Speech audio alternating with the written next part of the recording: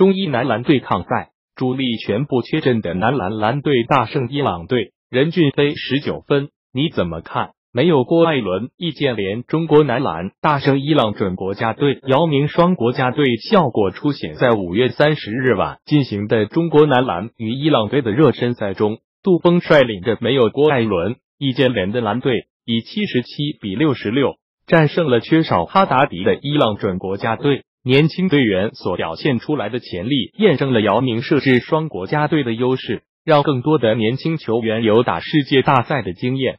这是姚明的初衷，年轻的是国家队，让我们看到了希望。于德豪、高诗岩组成的后卫线在上半场竟然零失误，这支伊朗队可不是什么水货。除了哈达迪没来以外，其他主力都来了。我们看到了熟悉的巴赫拉米，还有萨吉安等老将。男篮蓝队因为郭艾伦、易建联忧伤或在美国训练而无法参加。派出的是在 CBA 联赛中能打上球的年轻队员。吴前作为浙江上赛季冒出的优秀国内球员，在 CBA 联赛中证明了自己，但是在国家队还是个新人。没有郭艾伦、易建联，他成为这支球队的核心。他此役贡献了十八分、三篮板、四抢断，他的外线三分球成为中国队最稳定的进攻点。内线的李源宇拿下十分。任骏飞贡献十九分六篮板，常林也有七分。被球迷质疑的于德豪贡献了八分，